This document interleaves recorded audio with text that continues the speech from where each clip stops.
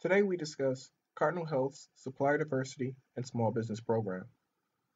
Cardinal Health is a healthcare company that specializes in the distribution of pharmaceutical and medical products. Cardinal Health has a very robust supplier diversity program as they look to connect with organizations that are classified as minority owned, women owned, veteran owned, service disabled veteran, small business enterprises, and more.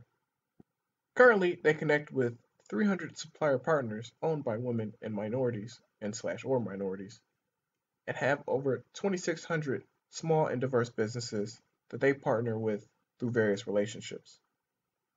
To find out more on exactly how to connect with Cardinal Health and the different programs they have within their supply diversity and small business department, please check out their website. To learn more about how to connect with organizations just like them, please check out supplierty.com.